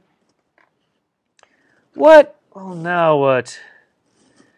They discussed it a while, fiddling with flashlights in the frost, and then Japhy came over and said, You have to crawl out of there, Smith. All we have is two sleeping bags now and gotta zip 'em up. Spread 'em out to form a blanket for three. God damn it, that'll be cold. What? And the coat'll sleep in all around the bottoms. Well, Henry can't sleep in that car. He'll freeze to death. No heater. But God damn it, I was all ready to enjoy this so much. I whined, getting out and putting on my shoes, and pretty soon Japhy had fixed the two sleeping bags on top of ponchos and was already settled down to sleep, and on on toss it was me had to sleep in the middle, and it was way below freezing by now, and the stars were icicles of mockery. I got in and lay down, and Morley and uh, I could hear the maniac blowing up his ridiculous air mattress so he could lay beside me. But the moment he had done so, he, start, he started at once to turn over and heave and sigh and around the other side, the back towards me, and around the other side, all under the ice cold stars and loveliness, while Japhy snored. Japhy, he wasn't subjected to all the mad wiggling. Finally, Morley couldn't sleep at all and got up and went to the car, probably to talk to himself in that mad way of his, and I got a wink of sleep. But in a few minutes he was back, freezing, and got under the sleeping bag blanket, but started to turn and turn again, even cursed once in a while, or sigh, and this way on for that, and for what seemed to be eternities. And the first thing I knew, Aurora was paling the eastern hymns of Amida, and pretty soon we'd be getting up anyway. That mad Morley, and this was only the beginning of the misadventures of that most remarkable man. As you'll see now, that remarkable man, he was probably the only mountain climber in the history of the world who forgot to bring a sleeping bag. Jesus, I thought, why didn't he just forget his jury air mattress instead? Chapter 7. Chapter 7. From the very first moment we had met, Morley had kept emitting sudden yodels in keeping with our venture. This was a simple yodelity, yodelity hoo but it came at the oddest moments and in oddest circumstances, like several times when his Chinese and German friends were still around, and later in the car, sitting with us enclosed, Yoda lady. And then as we got out of the car to go to the bar, Yoda lady hoo. Now, as Japhy woke up and saw it was dawn and jumped out of the bags and ran to gather firewood and shudder over a little preliminary fire, Morley woke up from his nervous small sleep of dawn, yawned, and yelled, Yodelay which echoed towards Vales in the distance. Hmm. I got up too. It was all we could do to hold together. The only thing to do was hop around and flap your arms, like me and my sad bum on the gone on the south coast. But soon Japhy got more logs on the fire, and it was a roaring bonfire that we turned our backs to every, after a while and yelled and talked. A beautiful morning! Red, pristine shafts of sunlight coming in over the hill and slanting down into the cold trees like cathedral light, and mist rising to meet the sun all the way around the giant secret roar of tumbling creeks, probably with films of ice in the pools. Great fishing country. Pretty, pretty soon I was yelling, Yodelady hee! myself, but when Japhy went to fetch more wood and we couldn't see him for a while, and Morley yelled, Yodelady hoo! Japhy answered back with a simple, hoo! Which he said was the Indian way to call on the mountain and much nicer, so I began to yell, hoo! myself. Then we got in the car and started off. We ate the bread and cheese. No difference between the Morley of this morning and the Morley of last night, except his voice as he rattled on yak as he rattled on, yakking in that cultured, snide, funny way of his was sort of cute with that morning freshness, like the way people's voice sound after getting up early in the morning. Something faintly wistful and hoarse and eager in it, ready for a new day. Soon the sun was warm. The black bread was good, and it had been baked by Sean Monahan's wife, Sean, who had a shack in Corte Madera, who we could all go live in free of rent some day. The cheese was sharp cheddar, but it didn't satisfy me much, and we got out into country with no more houses, anything, I began to yearn for a good old hot breakfast. And suddenly, after we'd gone over a little creek bridge, we saw a merry little lodge by the side of the road under trim- tremendous juniper trees, with smoke bowling out of the chimney and neon signs outside, and a, a sign in the window advertising pancakes and hot coffee. Let's go in there, by God, we need a man's breakfast if we're going to climb all day. Nobody complained about my idea, and we went in and sat at booths, and a nice woman took her orders with that cheery loquaciousness of people in the back country. Well, you boys going hunting this morning? No, said Japhy, just climbing Matterhorn. Matterhorn? Why, I wouldn't do that if somebody paid me a thousand dollars. Meanwhile, I went out to the log johns out back and washed from water in the tap, which was delightfully cold and made my face tingle. And then I drank some of it and was like cool liquid ice in my stomach and sat there real nice. And I had more. Shaggy dogs are barking in the golden red sunlight slanting down from the hundred foot branches of the firs and ponderosas. I could see snow capped mountains glittering in the distance. One of them was Matterhorn. I went in, and the pancakes were ready, hot and steaming, and poured syrup over my three pats of butter, and cut them down, and slurped hot coffee, and ate. So did Henry and Japhy for once, and no conversation. Then we washed it all down with the incomparable cold water as hunters came in, hunting boots, wool shirts, no giddy drunk hunters, but serious hunters ready to go out there after breakfast. There was a bar adjoining, but nobody cared about alcohol this morning. We got in the car, crossed another creek bridge, and crossed a meadow with a few cows and log cabins, and came out on a plain which clearly showed Matterhorn rising the highest, most awful looking at the jagged peaks to the south. There she is, said Morley, really. Pr- there she is, said Morley, really proud. Isn't it beautiful? Doesn't it remind you of the Alps? I've got a collection of snow covered mountain photos you should see sometime. I like the real thing myself, said Japhy, looking seriously at the mountain. In that far off look in his eyes, that secret self sigh, I saw he was back home again. Bridgeport is a little sleepy town, curiously New England like on that plain. Two restaurants, two gas stations, a school, all sidewalk, highway, 395 as it comes through, running from down Bishop way up to Carson City, Nevada. Chapter 8. Chapter 8. Now, another incredible delay was caused as Mr. Morley decided to see if he could find a store open in Bridgeport and buy a sleeping bag, or at least a canvas cover or tarpaulin of some kind for tonight's sleep at 9,000 feet. Judging from last night's sleep at 4,000, it was bound to be pretty cold. Meanwhile, Japhy and I waited, sitting in the now hot sun of 10 a.m. on the grass of the school, watching occasional laconic traffic pass by on the not busy highway and watching to see the fortunes of a young Indian hitchhiker pointed north. We discussed him warmly. That's what I like, hitchhiking around, feeling free. Imagine, though, being an Indian and doing all that. Damn it, Smith, let's go talk to him and wish him luck. The Indian wasn't very talkative, but not unfriendly. Told us he'd been making pretty slow time on 395. We wished him luck. Meanwhile, in the very tiny town, Morley was nowhere to be seen. What's he doing, waking up some proprietor in his bed back there? Finally, Morley came back and said there was nothing available, and the only thing to do was to borrow a couple of blankets at the Lake Lodge. We got in the car, went back down the highway a few hundred yards, and turned south toward the glittering, trackless snows high in the blue air. We drove along beautiful twin lakes and came to the Lake Lodge, which was a big white frame house inn. Morley went in and deposited five dollars for the use of two blankets for one night. A woman was uh, standing in the doorway, arms akimbo, dogs barked. The road was dusty, a dirt road, but the lake was cerulean blue. In it, the reflections of the cliffs and the foothills showed perfectly. But the road was being repaired, and we could see yellow dust boiling up ahead, where we'd have to walk along the lake road a while before cutting across the creek at the end of the lake and up through the underbrush and up the beginning of the trail. We parked the car and got all our gear out and arranged it in the warm sun.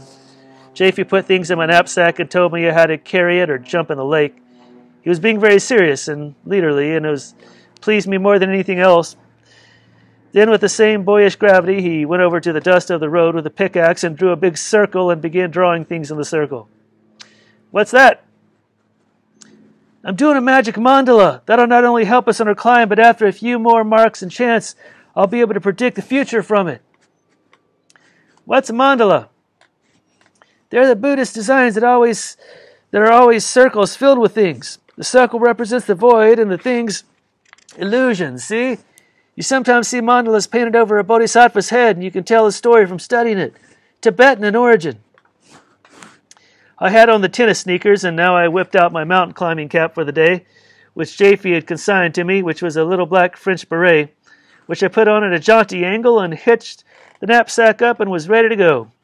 In the sneakers and the beret, I felt more like a bohemian painter than a mountain climber, but Japhy had on his fine big boots and his little green Swiss cap with feather and looked elfin but rugged. I see the picture of him alone in the mountains in that outfit, the vision. It's pure morning in the high, dry Sierras. Far off, clean firs can be seen shadowing the sides of the rocky hills. Further yet, snow capped pinpoints near the big bushy forms of pines, and there's Japhy in his little cap with a big rucksack on his back, clumping along, but with a flower in his left hand, which is hooked to the strap of the rucksack at his breast. Grass grows out between crowded rocks and boulders. Distant sweeps of scree can be seen making gashes down the sides of the morning. His eyes shine with joy. He's on his way. His heroes are John Muir and Han Shan and Shih-te and Li Po, John Burroughs and Paul Bunyan and Kropotkin. He's small and has a funny kind of belly coming out as he strides, but it's not because its belly is big, it's because his spine curves a bit. But that's offset by the vigorous long steps he takes. Actually, the long steps of a tall man, as I found out following him up trail, and his chest is deep and shoulders broad. God dang it, Japhy, I felt great this morning, I said as we locked the car and all three of us started swinging down the lake road with our packs straggling a bit, occupying side and center, the other side of the road like straggling infantrymen. Isn't this a hell of a lot greater than the place? Getting drunk in there on a fresh Saturday morning like this, all blurry and sick.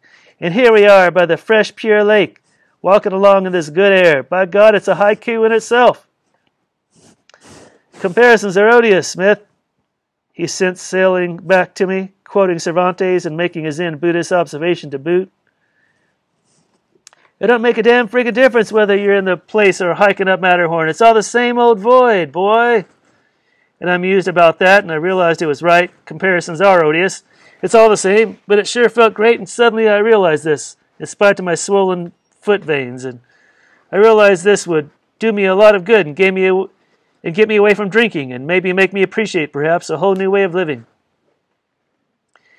Japhy, I'm glad I met you. I'm going to learn all, all about how to pack rucksacks and what to do and hide in these mountains when I'm sick of civilization. In fact, I'm grateful I met you. Well, Smith, I'm grateful I met you too. Learning how, learning about how to write spontaneously and all that. Oh, that's nothing. To me, it's a lot. Let's go, boys, a little faster. We ain't got no time to waste. By and by, we reached the boiling yellow dust where caterpillars were churning around, and great big fat sweaty operators who didn't even look at us were swearing and cussing on the job. For them to climb a mountain, you'd have to pay them double time and quadruple time today, is Saturday. Japhy and I laughed to think of it. I felt a little embarrassed with my silly bray, but the cat operators didn't even look, and soon we left them behind and were approaching the final little store lodge at the foot of the trail a log cabin set right on the end of the lake, and it was enclosed in a V of pretty big foothills. Here we stopped and rested a while on the steps, and we'd hiked approximately four miles, but on flat, good road, and went in and bought candy and crackers and cokes and stuff, and then suddenly Morley, who had been silent on the four mile hike and looked fun in his own outfit, which was that immense packboard with air mattress and all deflated now, no hat at all, so that he looked just like he does in the library, but with big floppy pants of some kind. Morley suddenly remembered he had forgot to drain the crankcase. So he forgot to drain the crankcase, I said, noticing their consternation and not knowing much about cars. So he forgot to drain the drink case, the drink base. No, this means that if it gets below freezing tonight, down here the goddamn radiator explodes and we can't drive back home and have to we have to walk 12 miles to Bridgeport and all and get all hung up. Maybe it won't be so cold tonight. Can't take a chance, said Morley. And by that time, I was pretty mad at him for finding more ways that he could figure to forget, foul up, disturb, delay, and make go round in circles this relatively simple hiking trip we had undertaken. What you gonna do? What we gonna do? Walk back four miles? Only thing to do. I'll walk back alone, drain the train case, walk back and follow you up the trail and meet you tonight at the camp.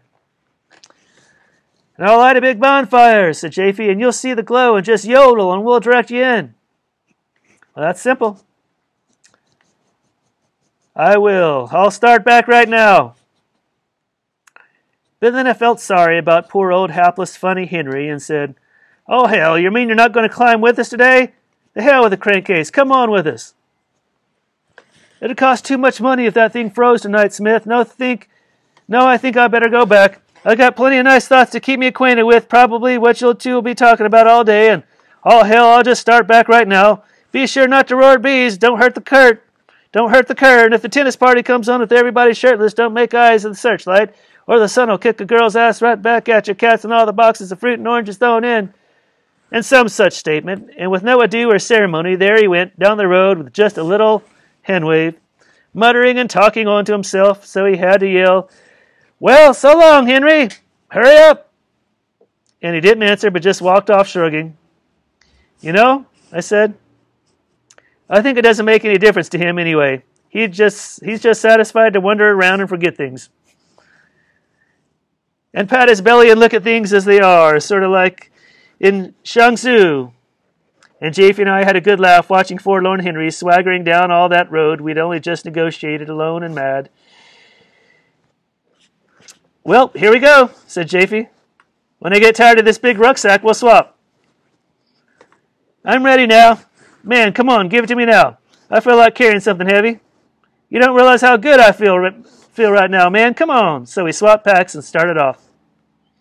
Both of us were feeling fine and were talking a blue streak about anything literature, mountains, girls, Princess, the poets, Japan, our past adventures in life, and I suddenly realized it was kind of a blessing in disguise. Morley had forgotten to drain the crankcase, otherwise Japhy wouldn't have gotten in a word edgewise all the blessed day. And now I had a chance to hear his ideas. In the way he did things, hiking, he reminded me of Mike, my boyhood chum, who also loved to lead the way, real grave like Buck Jones, eyes to the distant horizons, like Natty Bumppo, cautioning me about snapping twigs, or it's too steep here, let's go down the creek a ways to ford it, or there'll be mud in that low bottom, we better skirt around, and dead serious and glad. I saw all Japhy's boyhood in those eastern Oregon forests, the way he went about it. He walked like he talked. From behind, I could see his toes pointed slightly inward, the way mine do, instead of out. But when it came time to climb, he pointed his toes out, like Charlie Chaplin, to make a kind of easier flap the wap as he trudges. We went across the kind of muddy river bottom through dense undergrowth and a few willow trees and came out on the other side a little wet, started up the trail, which was clearly marked and named, and had been recently repaired by trail crews. But as we hit parts where a rock had rolled on the trail, he took great precaution to throw the rock off, saying, I used to work on trail crews. I can't see a trail all meddlesome like that, Smith. As we climbed, the lake began to appear below us, and suddenly in its clear blue pool we could see the deep holes where the lake had its springs, like black wells, and we could see schools of fish skittering. Oh, this is like an early morning in China, and I'm five years old in beginningless time, I sang out, and felt like sitting by the trail and whipping out my little notebook and writing sketches about it. Look over there, sang Japhy. Yellow aspens just put me in the mind of a haiku. Talking about the literary life, the yellow aspens. Walking in this country, you could understand the perfect gems of haikus the Oriental poets had written, never getting drunk in the mountains or anything, but just going along as fresh as children, writing down what they saw without literary devices or fanciness of expression. We made up haikus as we climbed, winding up and up now on the slopes of brush. Rocks on the side of the cliff, I said. Why don't they tumble down? Maybe that's a haiku, maybe not. It might be a little too complicated, said Japhy. A real haiku's got to be as simple as porridge and yet make you see the real thing. Like the greatest haiku of them all probably is the one that goes, The sparrow hops along the veranda with wet feet. By Shiki. You see the wet footprints like a vision in your mind, and yet in those few words you almost see all the rain that's been falling that day and almost smell the wet pine needles. Let's have another. I'll make up one of my own this time. Let's see. Lake below, the black holes the whales make. No, that's not haiku. God damn it, that never can be. Too, you never can be too careful about haiku. How about making them up real fast as you go along spontaneously? Look here, he cried happily. Mountain lupines. See the delicate blue color those little flowers have? There's some California red poppy over there. The whole meadow is just powdered with color. Up there, by the way, is a genuine California white pine. You never see them much anymore. You sure know a lot about birds and trees and stuff. I've studied it all my life. Then also, as we went on climbing, we began getting more casual and making funnier, sillier talk, and pretty soon we got to a bend in the trail where it was suddenly glady and dark with shade and tremendous cataract streams with bashing and frothing over scummy rocks and tumbling on down and over the stream was a perfect bridge formed by a fallen snag. We got on it, lay belly down, and dunked our heads down, hair wet, drank deep as the water splashed on our faces, still sticking your hair, still like sticking your head by the jet of a dam. I lay there a good long minute, enjoying the sudden coolness. This is like an advertisement for Rainier Ale, yelled Japhy. Let's sit a while and enjoy it, I said. Boys, you don't get tired. Boy, you don't know how far we got to go yet. I'm not tired. Well, you'll be, Tiger. Chapter 9. We went on, and I was immensely pleased with the way the trail had a kind of immortal look to it. In the early afternoon now, the way the side of the grassy hill seemed to be clouded with ancient gold dust, and the bugs flipped over rocks, and the wind sighed in shimmering dances over the hot rocks, and the way the trail would suddenly come into a cool shady part with big trees overhead, and here the light deeper, and the way the lake below us soon became a toy lake with those black well holes perfectly visible still, and the giant cloud shadows on the mount on the lake, and the tragic little road winding away where poor Morley was walking back. Can you see Morley down back there? Japhy took a long look. I see a little cloud of dust. Maybe that's him coming back already. But it seemed that I had been but it seemed that I had seen the ancient afternoon of that trail from meadow rocks and lupine posies to sudden revisits with the roaring stream with its splashed snagged bridges and undersea greenness there were there was something inexpressibly broken in my heart as though I had lived before and walked this trail under similar circumstances with a fellow with a fellow bodhisattva, but maybe on a more important journey. I felt like lying down by the side of the trail and remembering it all. The woods do that to you. They always look familiar, long lost, like the face of a long dead relative, like an old dream, like a piece of forgotten song drifting across the water. Most of all, like golden eternities of past childhood or past manhood, and all the living and the dying, and the heartbreak that went on a million years ago. And the clouds, as they passed overhead, seemed to testify by their own lonesome familiarity to this feeling. Ecstasy, even, I felt, with flashes of sudden remembrance, and feeling sweaty and drowsy, I felt like sleeping and dreaming in the grass. As we got higher, we got more tired, and now, like two true mountain climbers, we weren't talking any more and didn't have to talk, and we're glad. In fact, Japhy mentioned that, turning to me after a half hour's silence. This is the way I like it. When you when you get going, there's just no need to talk as if we were animals and just communicated by silent telepathy. So huddled in our own thoughts, we tromped on, Japhy using that Gazatsky trudge I mentioned, and myself finding my own true step, which was short steps slowly, patiently going up the mountain, one mile an hour. So I was always 30 yards behind him, and when we had any haikus now, we had yelled them fore and aft. Pretty soon we got to the top of the part of the trail that was a trail no more, to the incomparable dreamy meadow, which had a beautiful pond, and after that it was boulders and nothing but boulders. Only sign we have now to know which way we're going is ducks. What ducks? See those boulders over there? See those boulders over there? Well, God, man, I see five miles of boulders leading up to that mountain. No, see the little pile of rocks on that near boulder where there by the pond? That's a duck, put up by other climbers. Maybe that's one I put up myself in 54, I'm not sure. We just go from boulder to boulder from now on, keeping a sharp eye, sharp eye for ducks. Then we get a general idea how to raggle along. Although, of course, we know which way we're going. That big cliff face up there is where our plateau is. Plateau? My God, you mean that ain't the top of the mountain? Of course not. After that, we got a plateau and then scree and then more rocks, and we get to a final alpine lake no bigger than this pond. And then comes the final climb over 1,000 feet, almost straight up, boy, to the top of the world, where you'll see all California and parts of Nevada, and the wind will blow right through your pants. Ow, how long does it all take? Well, the only thing we can expect to make tonight is our camp up there on the plateau. I call it a plateau. It ain't that at all. It's a shelf between heights. By the top and the end of the trail was such a beautiful spot. I said, Boy, look at this. A dreamy meadow, pines at one end, the pond, the clear, fresh air, the afternoon clouds rushing golden. Why don't we just sleep here tonight? I don't think I've ever seen a more beautiful park. Ah, oh, this is nowhere. It's great, of course, but we might wake up tomorrow morning, he said, and find three dozen school teachers on horseback frying bacon, bacon in our backyard. When we're going, you can bet your ass there won't be one. Where we're going, you can bet your ass there won't be one human being and if there is, I'll be a spotted horse's ass. Or maybe just one mountain climber or two, but I don't expect so at this time of the year. You know, the snow's about to come here any time now. If it comes tonight, it's goodbye me and you. Well, goodbye, Japhy, but let's rest here and drink some water and admire the meadow. We were feeling tired and great.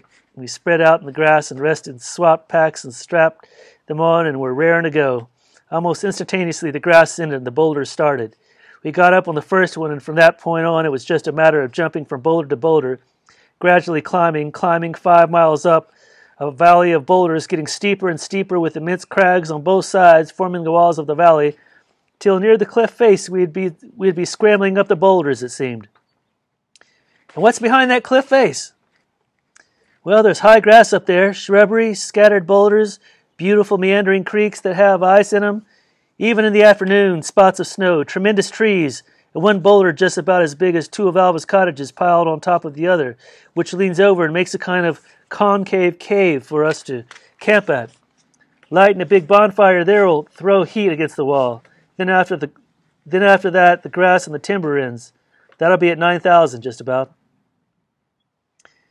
With my sneakers, it was an easy it was as easy as pie to just dance nimbly from boulder to boulder, but after a while, I noticed how gracefully Japhy was doing it, and he just ambled from boulder to boulder, some, sometimes in a deliberate dance with his legs crossing from right to left, right to left, and for a while I followed his every step, but then I learnt it was better for me to just spontaneously pick my own boulders and make a ragged dance of my own. The secret of this kind of climbing, said Japhy, is like Zen. Don't think, just dance along. It's the easiest thing in the world, actually easier than walking on flat ground, which is monotonous. The cute little problems present themselves at each step, and yet you never hesitate and you find yourself on some other boulder you picked out for no special reason at all, just like Zen, which it was. We didn't talk much now. It got tiresome on the leg muscles. We spent hours, about three, going up that long, long valley. And at that time it grew to late afternoon, and the light was growing amber, and shadows were falling ominously in the valley of dry boulders. And instead, though, of making you feel scared, it gave you that immortal feeling again. The ducks were all laid out, easy to see. On top of a boulder, you'd stand and look about and spot a duck, usually only two flat rocks on top of each other, maybe with one round on top for decoration, and you aimed in that general direction. The purpose of these ducks, as laid out by all previous climbers, was to save a mile or two of wandering around in the immense valley. Meanwhile, our roaring creek was still at it, but thinner and more quiet now running from the cliff face itself a mile up the valley in a big black stain I could see in the gray rock. Jumping from boulder to boulder and never falling with a heavy pack is easier than it sounds. You just can't fall when you get into the rhythm of the dance. I looked back down the valley sometimes and was surprised to see how high we'd come and to see farther horizons of mountains now back there. Our beautiful trail top park was a little like a was like a little glen of the forest of Arden. Then the climbing got steeper, and the sun got redder, and pretty soon I began to see patches of snow with the shade of some rocks. We got up to where the cliff face seemed to loom over us, and at one point I saw Japhy throw down his pack and danced my way up to him. Well, this is where we'll drop our gear and climb those few hundred feet up the side of that cliff. Where you see there's it's shallower, and we'll find that camp. I remember it. In fact, you can sit here and rest or beat your bishop while I go rambling up there, and I like to ramble up by myself. Okay. So I sat down and changed my wet socks and changed soaking undershirt for dry one, and cro- crossed my legs and rested and whistled for about a half hour. A very pleasant occupation. And Japhy got back and said he had found the camp. I thought it would be a little jaunt to our resting place, but it took almost another hour to jump up the steep boulders climb around some, get to the level of the cliff face plateau, and there on flat grass, more or less, hike about 200 yards to where a huge gray rock towered among pines. Here now the earth was a splendorous thing, snow on the ground and melting patches in the grass, gurgling creeks and the huge silent rock mountains on both sides, and a wind blowing, the smell of heather. We forded a lovely little creek, shallow as your hand, pearl pure lucid water, and got to the huge rock. Here were old charred logs where other mountain climbers had camped. And where's Matterhorn Mountain? You can't see it from here, but pointing up the further long plateau and a scree gorge twisting to the right, around that draw and up two miles or so, then we'll be at the foot of it. Wow, heck woo, that'll take us a whole other day. Not when you're traveling with me, Smith. Well, righteree, that's okay with me. Okay, Smithy, now how's about we relax and enjoy ourselves and cook up some supper and wait for old Morley? So we unpacked our packs and laid things out and smoked and had a good time. Now the mountains were getting that pink tinge. I mean, the rocks, they were just solid rock covered with the atoms of dust accumulated there since beginningless time. In fact, I was afraid of those jagged monstrosities all around and over our heads. They're so silent, I said. Yeah, man, you know, to me, a mountain is a Buddha. Think of the patience, hundreds of thousands of years just sitting there, being perfectly, perfectly silent and like praying for all living creatures in that silence and just waiting for us to stop all our fretting and fooling. Japhy got out the tea, Chinese tea, and sprinkled some in a tin pot. Had the fire going meanwhile, a small one to begin with. The sun was still on us and stuck a long stick tight down under a few big rocks and made himself something to hang the teapot on, and pretty soon the water was boiling and he poured it out, steaming into the tin pot, and we had cups of tea with our tin cups. I myself had gotten the water from the stream, which was cold and pure like snow, and the crystal lidded eyes of heaven. Therefore, the tea was by far the most pure and thirst quenching tea I ever drank in all my life. It made you want to drink more and more, and it actually quenched your thirst, and of course it swam around hot in your belly. Now you understand the Oriental passion for tea, said Japhy. Remember that book I told you about? The first sip is joy, the second is gladness, the third is serenity, the fourth is madness, the fifth is ecstasy. It's just about, old buddy, I said.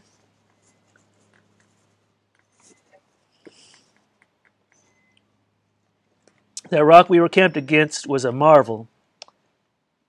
It was 30 feet high and 30 feet at base.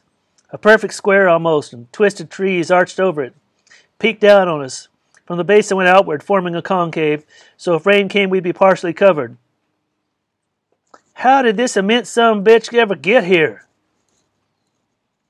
It's probably left here by the retreating glacier, he said. See over there, that field of snow? Yeah. That's the that's the glacier, what's left of it.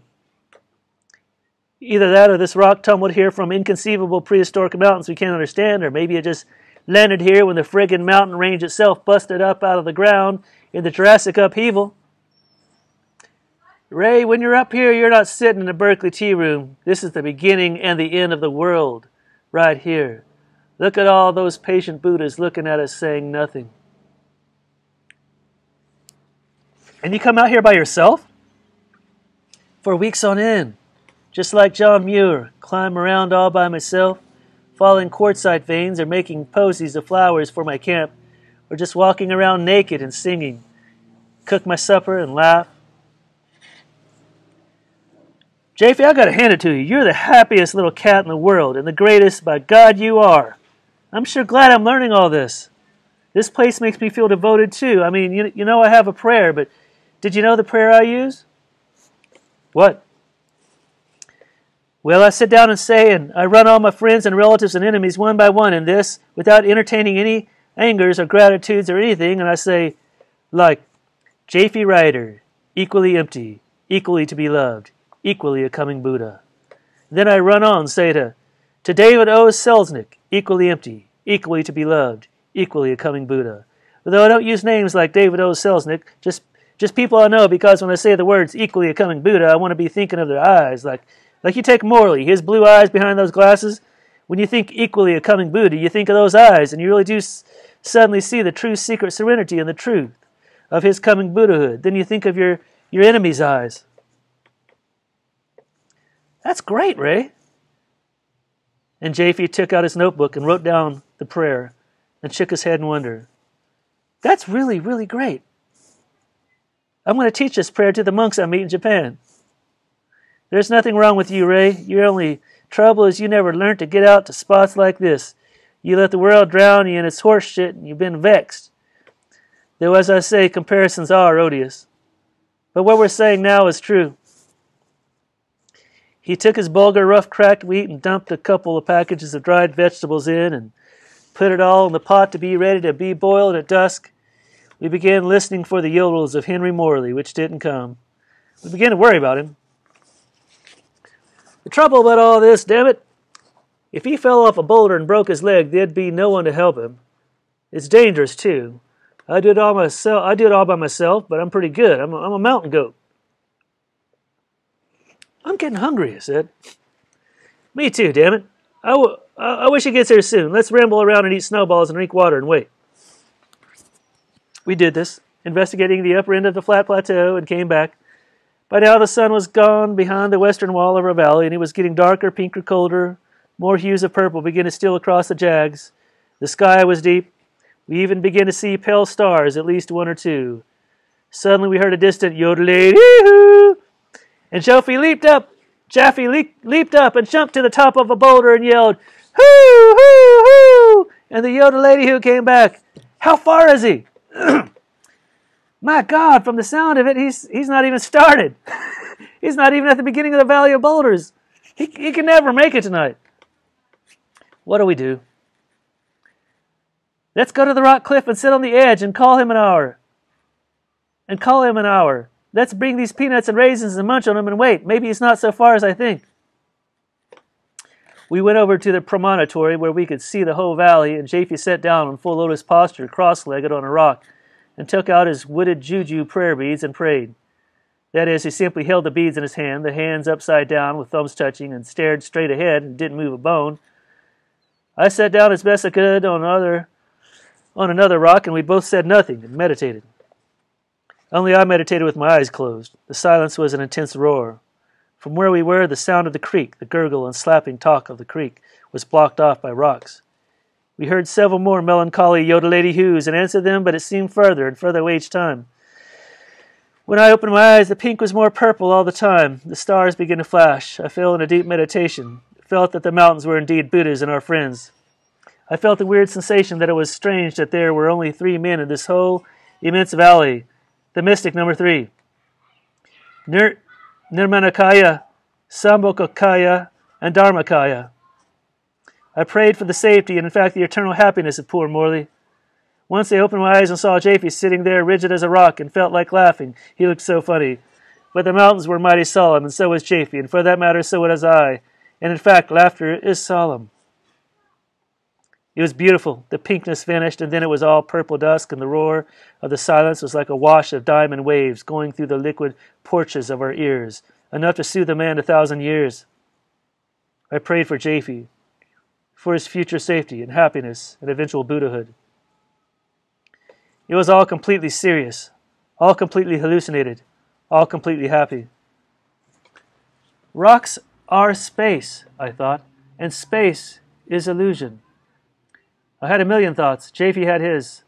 I was amazed at the way he meditated with his eyes open, and I was mostly humanly amazed at this tremendously little guy who eagerly studied Oriental poetry and anthropology and ornithology and everything else in his books was a tough little adventurer of trails and mountains. Should also suddenly whip out his pitiful, beautiful wooden prayer beads and solemnly pray like that, like an old fashioned saint of the desert, certainly. But so amazing to see it in America with its steel mills and airfields. The world ain't so bad when you got Jaff- Japhys, I thought, and felt glad. All the aching muscles and the hunger in my belly were bad enough, and the surrounded dark rocks, the fact that there is nothing there to soothe you with kisses and soft words, but just to be sitting there meditating and praying for the world with another earnest young man. Twere good enough to have been born just to die, as we all were.